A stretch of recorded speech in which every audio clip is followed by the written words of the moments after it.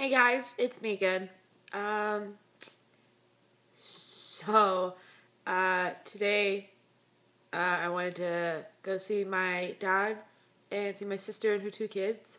Uh, I have a nephew. He's turning three. Oh, pfft, my battery's low. Don't worry about it. Um, but anyways, my nephew is, I think he's, he's turning three, May 26th something like that. And I have a niece, and she just turned one on the 6th. Yeah, that makes sense because they both have six in them. Okay, anyways, but yeah, I went to go hang out with them, and they are the funniest. Like, my niece is like trying to like walk, and she's struggling really hard, and she hits her head a lot on things, and we haven't really like safety the like. I think the last thing we, we need to like safety the corners of the table, and for some reason she just aims for those, but Luckily, she hasn't like done anything like hazardous to herself. But um, and then my nephew, we got on this cute. Oh my god, it's this cute little train that he rides around in. Like it's like life size, but not like gigantic, like like toddler size.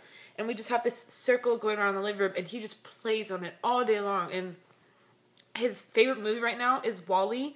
And like right when he gets there, he looks at his his at my dad, his papa, and he goes, "WALL-E." it's just the funniest thing in the world. So that's what I was doing. And uh, we were talking about, they have this link, uh, I'll put it in the description, uh, 25 of the best drawings on Draw Something. Oh my god.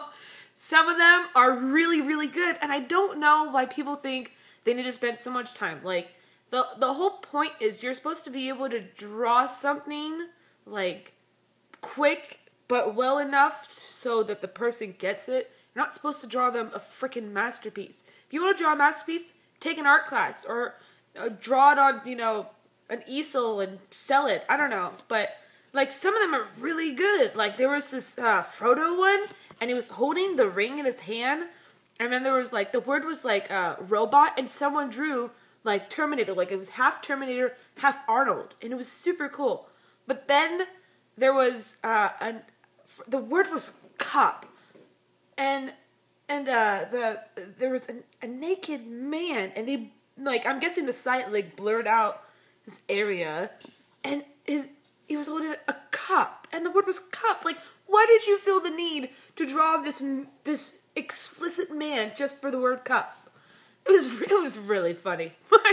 and it's crazy. And uh, I I Justine made a video about how obsessed she is with it. Like I know when I first started playing the game, like when I first started playing, no one that I knew was playing the game yet. So I was one of those people who was like, okay, draw, draw, draw. Why aren't you drawing? What the hell? Slip your iPad underneath the, you know, doorway in the bathroom. Draw right now. But now, like, I, I have I have so much now going on where, like, once I get an app, it kind of just kind of drifts out of my life.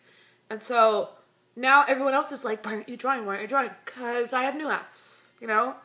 It was Farmville, you know, three years ago, and now it's Draw Something, you know, Words with Friends and hanging with friends. But it's just cracking me up.